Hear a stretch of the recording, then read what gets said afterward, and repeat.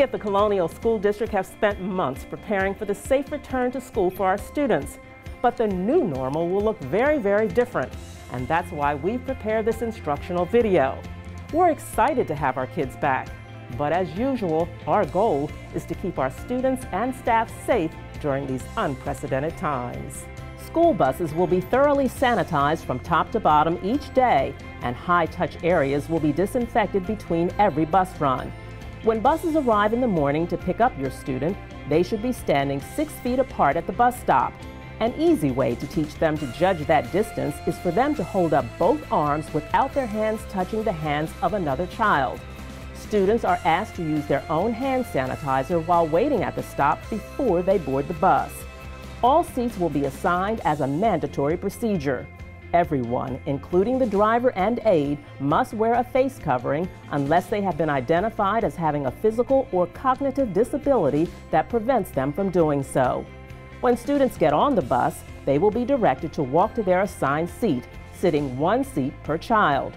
Students that board the bus first during the first run will be assigned seats furthest to the back of the bus, allowing the bus to be loaded from the back to the front.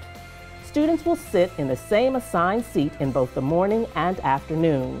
To maintain three feet distance on the bus, one child will sit near the window in one seat while another will sit near the aisle in the seat in front of them. This means about 23 to 27 students will be on one bus depending on its size, along with the driver. All bus riders will be told their bus number and pickup and drop off times before school starts. When buses pull up to the schools, students will unload from the front to the back of the bus, one at a time. The first child off will look and walk directly into the designated entrance. When arriving at school, many of our students are used to physically greeting everyone. Classmates and staff get a high five, sometimes a fist pump, or even a big hug. Unfortunately, under the new normal, that just isn't safe anymore. So from now on, the universal greeting in Colonial will be this, a hand over your heart. From the bus or the drop-off area for car riders, students will walk socially distanced apart in a single file line to their classrooms. Once inside the classrooms, students will be seated six feet apart from each other. Students will also place their belongings like book bags in containers beneath or beside their desks. Materials like pencils and paper will be provided by teachers. This way, no materials are shared among students. Adults in the classroom will wear a mask at all times. All students in grades K through 8 must also wear a mask throughout the entire day, while students in preschool are strongly encouraged to wear a face mask. All students will remain in the same classroom or instructional area for the majority of the day. Buildings are working to develop schedules for recess or outdoor breaks, but students will need to remain with their class. Students in grades 9 through 12 who attend designated classes on designated days are required to wear face masks as well. Nutrition Services staff will deliver meals to elementary classrooms where students will eat individually wrapped items for breakfast and lunch. No snacks will be available for purchase at the elementary level. Wilbur and Wilmington Manor will have kiosk carts stationed at different entry locations for breakfast service. Middle school students will go to a kiosk placed in hallways near their classrooms to reduce hall movement. Barcode scanners will be used instead of pin pads. Students will be provided a card which has a barcode on it which identifies them, or they may use the School CAF app on their phones.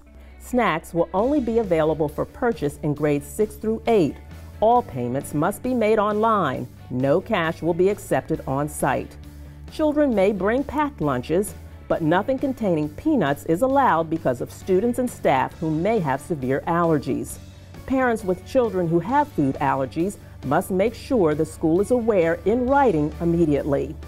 We would like to remind families that healthy breakfasts and lunches are available at no charge to Colonial students. High-touch areas in classrooms and instruction areas will be sanitized with disinfectant spray after meals and every 15 minutes up to two hours, depending on the activity of students at the time. Older students will be taught how to help. Families are asked to send a full water bottle clearly marked with their child's name on it. If students need more water, it will be provided. For safety reasons, all water fountains will be shut down. At the end of the day, all students will be escorted or directed out of the building by their teacher or paraprofessional to the bus line where they will stand socially distanced before they board the buses the same way they did at the beginning of the day.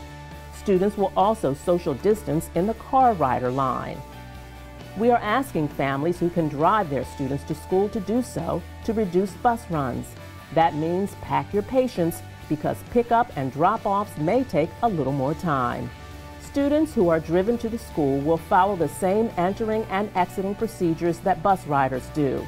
After dismissal, custodians will use a battery powered disinfectant wand to sanitize all instructional areas and offices for the next day. Thanks to the spirit behind Colonial's Power of We, we must work together to keep students and staff safe. We encourage you to share this video with your children now to practice our new Colonial greeting social distancing, and wearing masks for long periods of time while they are at home.